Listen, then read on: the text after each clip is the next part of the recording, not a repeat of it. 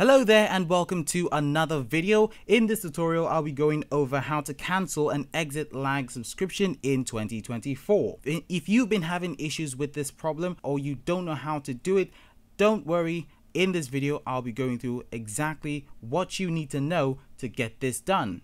So first of all, we want to, of course, uh, log into our account. And uh, if you do, that is, if you have an account, uh, if after doing that, you would need to go to the support page or the knowledge base page rather, and go under subscriptions.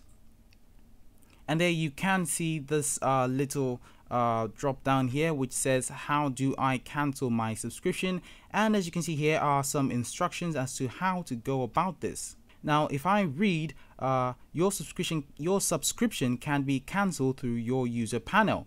And uh, that is of course on the website, which is where we are right now. And it says you can cancel your, your subscription via your user panel on our website. So when you log in, go to plan management, then go to my subscription and then select the option manage subscription after clicking on that uh, there is a, a, a, little link which you can you will find there which says click here. And when you do that it will take you to a page or a form rather where you can cancel your subscription. Now do not worry about things like uh, uh, whether your account will be active or not because um, if you have days uh, left on the, your account they will be active until of course that particular contract period and then your subscription will be cancelled.